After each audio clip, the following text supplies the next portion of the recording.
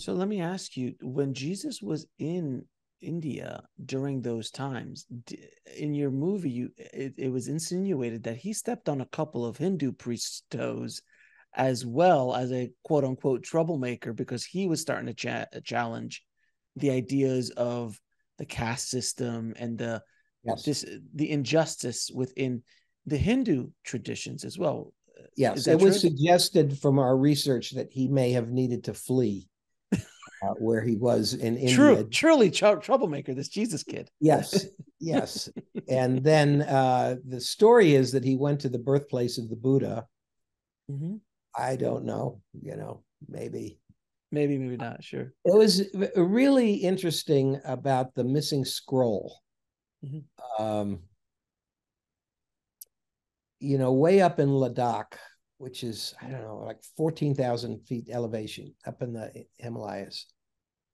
Um, there is um, a Buddhist uh, monastery, Hemis Monastery, and I think going back almost hundred years now, we can say it's been reported by many travelers that they had a an ancient document that spoke of Jesus's travels to India. Hmm. And there were about four or five well-known explorers who saw this when they were at Hemis through the decades. And it was uh, translated. You can find the the document, and it it begins after uh, the crucifixion.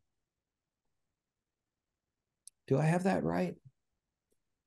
Well, I know it's sort of a flashback from uh, after the crucifixion. Deals with his travels as uh, as a young man in India, um, and the the whole story is mapped out there about taking the trade routes mm-hmm. and who he met with and how Christianity evolved from his travels and his exposure to Hinduism and Buddhism.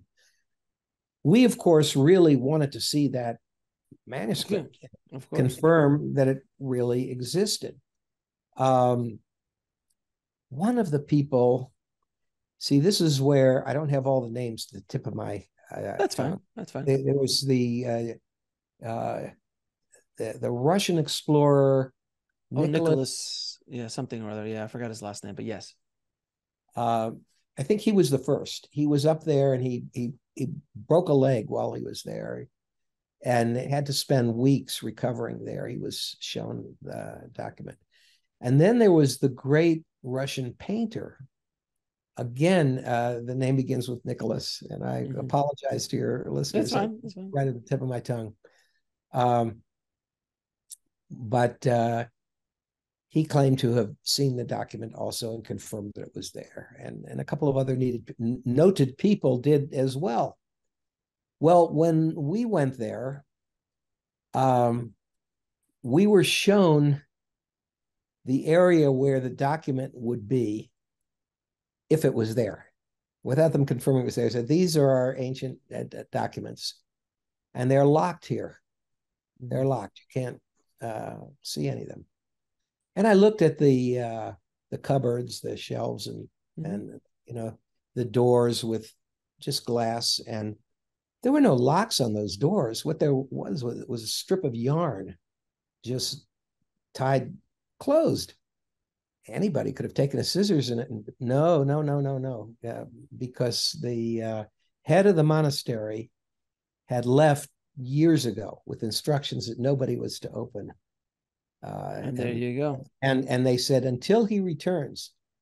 Well, believe me, with uh, the problems in Tibet, and the Chinese communists, they didn't even know if he was still alive. You know, was he ever going to return? Well, we had an interview with one of the monks there who said, uh, listen, he's he's heard the story, you know, many times through the years. And he said one of the problems were uh, if we were to confirm this, this ancient document, um, Christianity would be very upset. You know, the Pope would not like that. he made it clear that there was pressure on them. You know, at some point, something was exerted on them that they were not to reveal uh, this document anymore.